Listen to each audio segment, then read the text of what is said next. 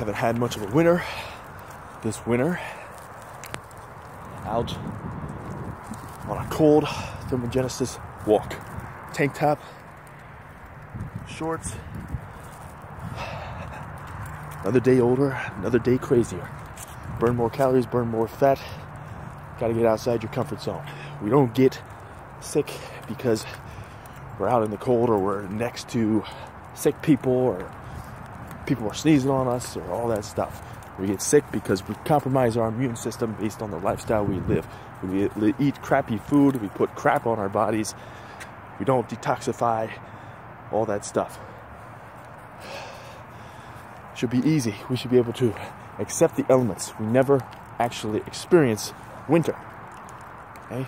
Think about it. We get in our warm cars with our warm jackets, all that stuff. We should be able to accept the elements. So, I've been following a lot of Wim Hof stuff. He's the Iceman. Look him up. He's awesome. It's all about getting cold, baby. Helps your immune system, helps you recover quicker from workouts, all that stuff. So, check it out. I'm here to inspire you all the way 2017. Let's do this. Let's do it. Let's get stronger. Let's get more powerful.